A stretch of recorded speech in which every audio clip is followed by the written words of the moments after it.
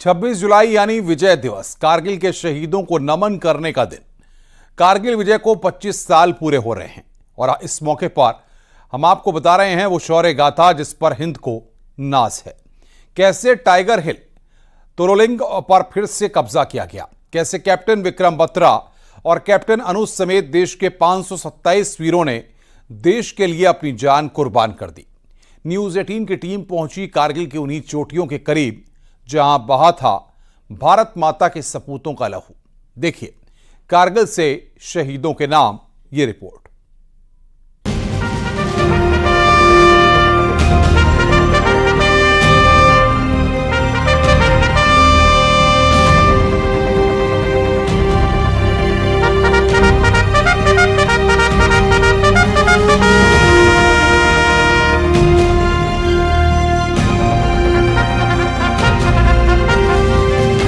इस वक्त तो मैं द्रास में हूँ और ठीक टाइगर हिल के सामने मेरे साथ में एक ऐसे योद्धा है ऐसे हीरो है जो 25 साल पहले जिसको सोच कर भी कोई भी आ, उसके रोंगटे खड़े हो जाते हैं। इसको आप कैसे देखते हैं? जहाँ तक लड़ाई की बात है यहाँ आने पर ऐसा लगता है कि वो जो पुरानी यादें हैं वो फिर ताज़ा हो गई।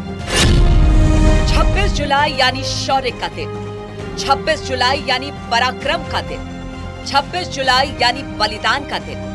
1999 में पाकिस्तानी सेना को खदेड़ते हुए भारतीय जवानों ने करगिल में विजय पताका लहराई थी।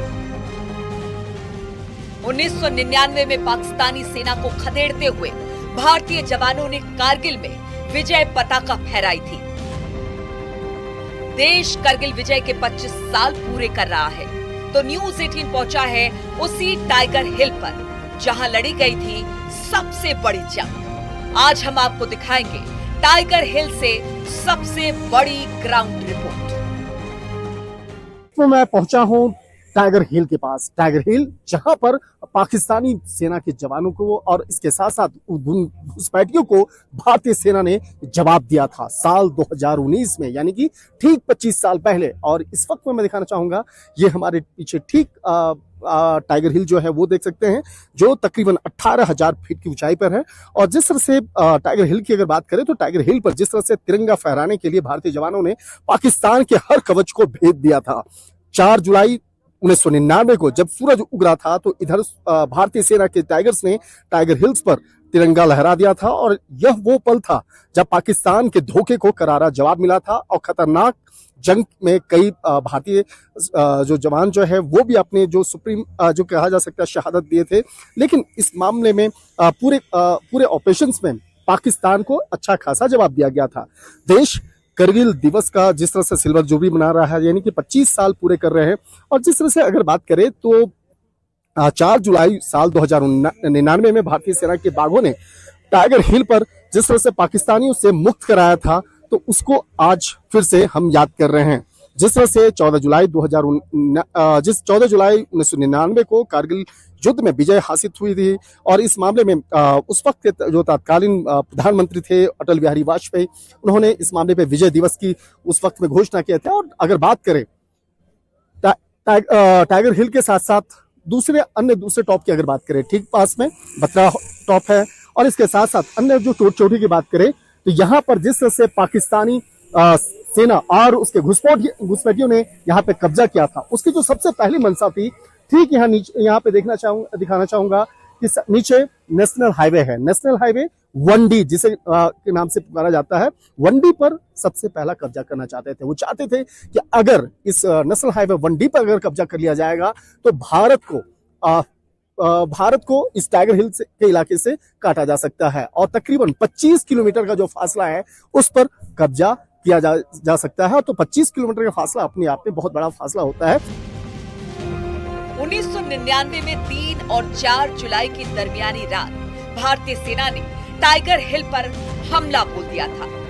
4 जुलाई 1999 की सुबह भारतीय सेना के तीन रेजिमेंट, सिख 18 ग्रेनेडियर्स और नागा ने टाइगर हिल पर पाकिस्तान के नॉर्दर्न लाइट इन्फेंट्री को धूल चटा दी। 12 घंटे तक चली ज़बरदस्त लड़ाई के बाद हिंदुस्तान ने फिर से टाइगर हिल पर कब्जा कर लिया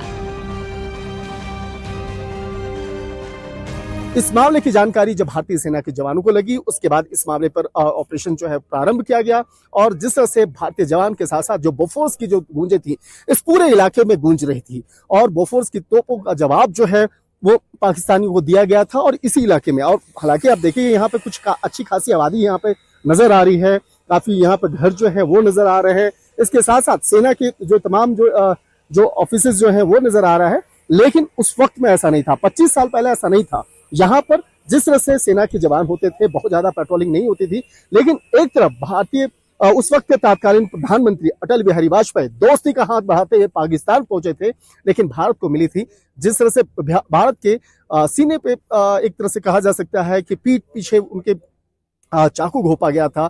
दोस्ती का जो रिश्ता है, जो भारत में शांति और दोस्ती का एक रिश्ता भारत दिखाना चाहता था और पाकिस्तान के साथ यानी अपने पड़ोसी मुल्क के साथ में वो कायम करना चाहता था, लेकिन पाकिस्तान ने भारत के पीठ पर एक कहीं कहीं वो चाकू घोपने का काम किया था और भारत मिठाइयाँ और तमाम अपने डेलीगेशन को लेकर पाकिस्तान पहुँचा था। तो दूसरी तरफ़ उस वक्त में परवेज मुशर्रफ के नेतृत्व में इसी कारगिल हिल और इसके साथ साथ आसपास की चोटियों पर कब्जा करने की एक कोशिश की जा रही थी, साजिश रची जा रही थी, जिसका जवाब भारतीय सेना के जवानों ने दिया और 25 साल के बाद जब आज हम विजय दिवस के तौर पर, रजत जयंती के तौर पर इस कार्यक्रम को मना रहे हैं तो कहीं ना कहीं कहा जा सकता है कि भारतीय आन, बान और शान को और बेहद मजबूती से यहाँ पर हम लोग रख रहे हैं। चार जुलाई 1999 को उधर सूरज उग रहा था।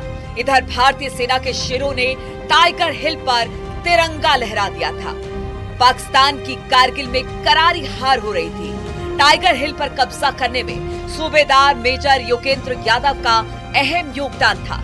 दुश्मनों से लड़ते हुए उन्हें पंद्रह गोलियाँ लगी थी, लेकिन घायल होने के बावजूद उन्होंने पाकिस्तानी सेना की तरफ़ ग्रेनेड फेंका। इससे पाकिस्तानी सेना डर गई और टाइगर हिल पर भारतीय जवानों ने कब्जा कर लिया।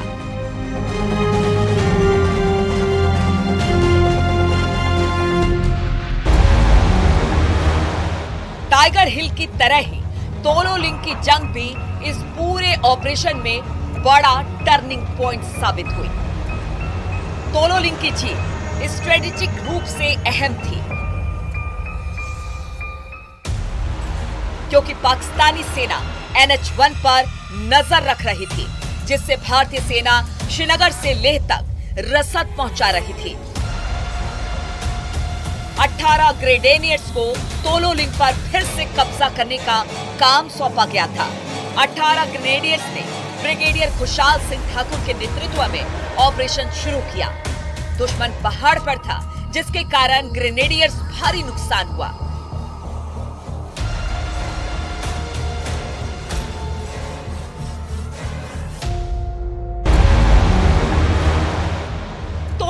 कब्जा करने की कोशिश में 18 ग्रेनेडियर्स के 25 जवान शहीद हो गए। लेकिन आखिरकार 18 ग्रेनेडियर्स के जवानों ने तोलो लिंक पर तिरंगा लहरा ही दिया। इस संघर्ष में लेफ्टिनेंट कर्नल विश्वनाथन पूरी तरह घायल हुए और ब्रिगेडियर खुशाल ठाकुर की गोद में वीर गति को प्राप्त हुए। सर 25 साल के बाद फिर आज हम चर्चा कर रहे हैं उन दिनों की। जो 25 साल पहले जिसको सोच कर भी कोई भी आ, उसके रोंगटे खड़े हो जाते हैं इसको आप कैसे देखते हैं? पहले तो मैं ये कहना चाहूँगा मैं हीरो नहीं हूँ। हीरो तो वो हैं जो पाँच सौ सताईस वीर योद्धा जो शहीद हुए हैं। हीरोज उनके परिवार हैं जिन्होंने भी मुश्किल झेली है। और आज हम उनको 25 साल पर श्रद्धांजलि देते हैं नमन करते हैं।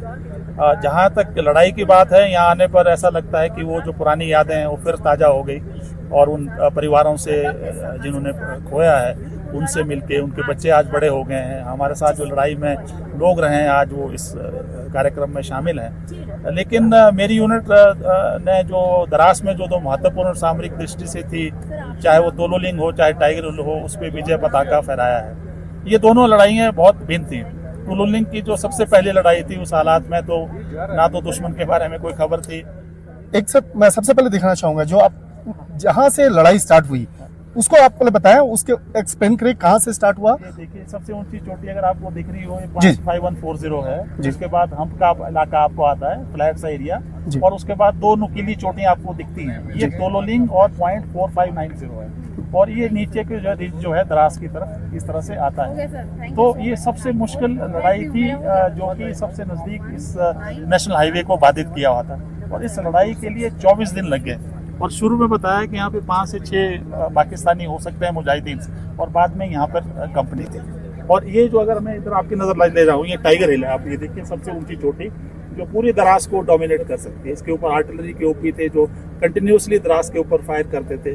और जो हमारी कॉन्वाइज थी लॉजिस्टिक की जो अ, लेके जाती थी वो बाधित थी।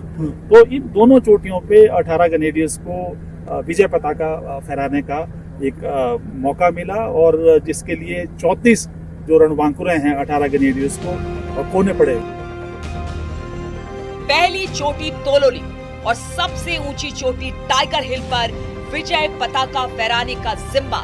ब्रिगेडियर खुशाल ठाकुर और उनकी यूनिट 18 ग्रेनेडियर्स को दिया गया था, जिसे उन्होंने पूरा किया। ऐतिहासिक अभियान के लिए 18 ग्रेनेडियर्स को बावन वीरता सम्मानों से नवाजा गया, जो कि एक रिकॉर्ड है। हवलदार योगेंद्र यादव को देश के सर्वोच्च वीरता सम्मान परमवीर चक्र से सम्मानित किया गया।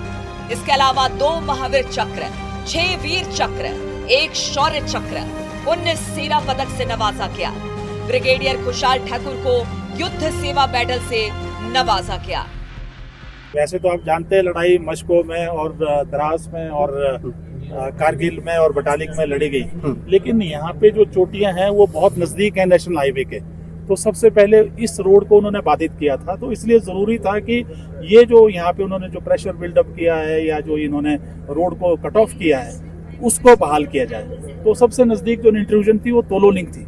जी तो सबसे पहले जो लड़ाई थी वो तोलो लिंक की थी। और जितनी भी ये ऊँची पहाड़ियाँ हैं इनके ऊपर दुश्मन ने कब्जा किया था क्योंकि सर्दियों में कुछ एक पोस्ट को हम छोड़ दिया करते थे। और इस तरह पूरी कारगिल में तकरीबन 125 स्क्वायर किलोमीटर पे उन्होंने जो है इस तरह की इंक्लूजन की हुई थी। भारत दोस्ती का पैगाम लेकर पहुँचा था पाकिस्तान लेकिन मिली वहाँ गद्दारी मिला धोखेबाजी। इसको आप कैसे देखते हैं और आज के संदर्भ में इसको आप कैसे देखते हैं? अटल जी, देखिए, वहाँ शांति वार्ता करते, करने गए थे, अच्छी नीयत से करने गए थे। भारत कभी नहीं चाहता कि किसी के साथ युद्ध हो, लेकिन पाकिस्तान ने एक बहुत बड़ा धोखा किया। और ये धोखा उन्होंने कारगिल में नहीं किया, हमेशा पीछे भी किया जाए। पीछे की जितनी भी आज़ादी के बाद लड़ाई है, और अभी भी आप देखिए, जिस तरह से आतंकवाद की घटनाएँ हो रही हैं, वो हमेशा धोखा देता रहेगा। और आपको पता है कि वहाँ का कंट्रोल जो है वह मिलिट्री के हाथ में है। वहाँ का जो कंट्रोल है। आज लेकिन भारतवर्ष इतना मज़बूत है, सशक्त है कि जिस तरह की इंट्रूजन है या इस तरह की अगर वो कोई भी ऐसी नापाक हरकत पाकिस्तान हिंदुस्तान के साथ करना चाहेगा, वो आज के समय में नहीं कर पाएगा। कारगिल युद्ध के हीरो कैप्टन विक्रम बत्रा ने पॉइंट को पाकिस्तानी फौजियों से मुक्त कराया था। कैप्टन विक्रम बत्रा ने इसी चोटी से कहा था, ये दिल मांगे वो इसके बाद कैप्टन विक्रम बत्रा 4875 को फतह करने के लिए आगे बढ़ गए उन्होंने यहाँ पाँच पाकिस्तानी जवानों को मार गिराया इस बीच एक जवान को गोली लग गई। इसके बाद वो अपने जवान को उठाने के लिए आगे बढ़े। जैसे ही उन्होंने जवान को उठाया, उन्हें दुश्मनों की गोली लग गई। इस जंग में शहादत के लिए उन्हें सर्वोच्च वीरता पुरस्कार परमवीर चक्र से सम्मानित किया गया। 26 जुलाई का दिन विजय दिवस के रूप में बनाकर पूरा देश उन शहीदों को नमन कर रहा है, जिन्होंने देश के लिए अपने प्राण न्यौछावर कर दिए। Bureau report, news city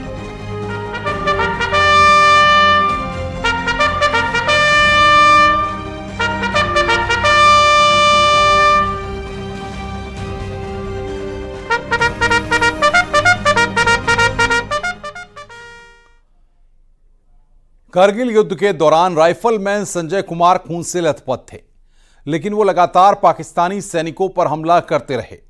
उन्हें शौर्य के लिए परमवीर चक्र से सम्मानित किया गया। संजय कुमार से आप खुद सुनिए कारगिल विजय की कहानी। इस वक्त में मैं बात करता हूँ एक ऐसे बहादुर शख्स से जिनको परमवीर चक्र से नवाजा गया। हमारे साथ में संजय साहब हैं। संजय साहब 25 साल हो गए हम लोग विजय दिवस मना रहे हैं। लेकिन मैं आपसे वो कहानी सुनना चाहता हूँ कि कैसे हमारे देश के जवान उस जवान, उस जगह तक पहुँचे और पाकिस्तानियों को यहाँ से भगाया गया था। वो कहानी मैं जान, सुनना चाहता हूँ। देखिए, ऐसा है आप सब देख रहे हैं कि ये पहाड़ियाँ जो हैं बिल्कुल सूखे पहाड़ हैं, लेकिन इन पहाड़ों पे अगर आप जिसको बोलेंगे ना कि ऊपर तक पहुँचना कोई आसान नहीं है। सबसे बड़ी बात है कि इनमें कोई रास्ता नहीं था। रास्ते के बाद उसमें जैसे जैसे आप ऊपर चढ़ते जाओगे, ऑक्सीजन की कमी आपको होगी। पानी इसमें बहुत कम जगह हैं जो ऊपर वाले, जिसमें पानी का स्रोत आपको मिलेगा। और अगर ऊपर दुश्मन साथ में बैठा है और फिर ये चीज़ें प्रॉब्लम के साथ में आप ऊपर तक बढ़ना है, काफ़ी मुश्किल था। हमारे लिए सबसे बड़ी चुनौती, आधी चुनौती तो इन्हीं मौसम के साथ और इस हालात के साथ कि इसको पार करके कैसे पहुँचेंगे? और इसको पार करके जाने के बाद फिर जाके वॉर लड़ना, वो अपने आप में एक आप लगा सकते हैं आइडिया कि अलग से एक्सपीरियंस थे। नीचे नेशनल हाईवे पे, वहाँ के रास्तों को ब्लॉक करने की जो ऊपर से फायरिंग हो रही है और नीचे उसके बावजूद आप लोग ऊपर बढ़ते जा रहे थे तो किस तरह से वो मनोबल किस तरह से वो आपकी स्ट्रेटेजी वो काम आई और पाकिस्तानियों को भागना पड़ा? मैं इसलिए बोल रहा हूँ कि जो हमारे कमांडर थे जो उनकी प्लानिंग थी या उनके जो सोच विचार थे कि कैसे हम इस ऑपरेशन को अंजाम तक पहुँचा सकते हैं तो उनकी प्लानिंगों की वजह से ही फौज जो है अपने उस पड़ाव तक पहुँच पाई जैसा जहाँ पे दुश्मन के साथ लड़ने का मौका था। और वहाँ भी जो प्लानिंग है, जिसने की है, जैसे किसी भी कंपनी कमांडर ने अगर प्लान किया कि मैं इस पोस्ट को लूँगा तो मेरा इतना कैजुअलिटी होगा, ऐसे जाऊँगा, वैसे जाऊँगा, उससे अच्छा ही हुआ। क्योंकि सबसे बड़ी पता है कि लीडर जब कोई काम करता है सेना में तो उसका जो जवान है, उसको पता है कि मेरा लीडर मेरे साथ है। ठीक है? और मेरी ज़रूरत के टाइम पे या मुझे जब ज़रूरत होगी तो वो मेरे साथ होगा और मैं कुछ कर सकता हूँ। उसका मनोबल वैसा बना रहेगा। अगर पाकिस्तान वालों की तरह अगर उनका लीडर ही सबसे पहले भाग जाएगा तो कितनी देर लड़ेगा? हमारे साथ जिन पोस्टों पे हमने किया था तो हर पोस्ट में कोई ऐसा पोस्ट नहीं था जिसमें से वो भागे थे। तो आप आइडिया लगा सकते हैं कि जो भागने वाले हैं तो वैसे तो आपने कभी इंडियन आर्मी की हिस्ट्री में कहीं नहीं सुना होगा कि हमारा कोई भी जवान या कोई ऐसा कुछ भी सिचुएशन हुआ था कि आप लोग दौड़ रहे हो और पीछे भाग रहा हो? बहुत बार। तरह- उसके बाद हम प्रोकिनो पे जब फ़र्स्ट में अटैक किया था, तब भी वैसा ही था। और जब हमने किया था फोरेस्ट संभाग पे तब भी वैसा ही था। तो वो सिचुएशन उनके साथ रही है। तो उसका फ़ायदा हमें ही मिला वैसे। क्योंकि कमांडर उनके साथ नहीं था तो वो लड़ने की शक्ति उनकी भी कम हुई। और हमें उसका बेनिफिट मिला तो हम पोस्ट को कैप्चर करने में और आसानी मिली।